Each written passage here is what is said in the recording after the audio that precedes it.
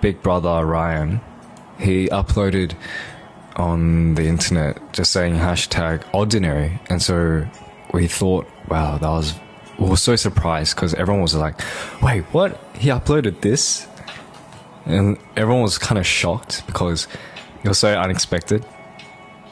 But as much as he like when he uploaded that, we were very thankful and um yeah, we're also very thankful because I think since last year we did a Deadpool concept on stage for Kingdom and he really enjoyed the show and I think he's a true stay now.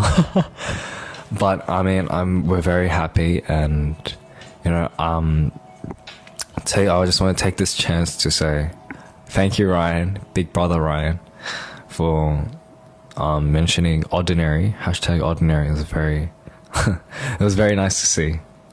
So yeah, thank you.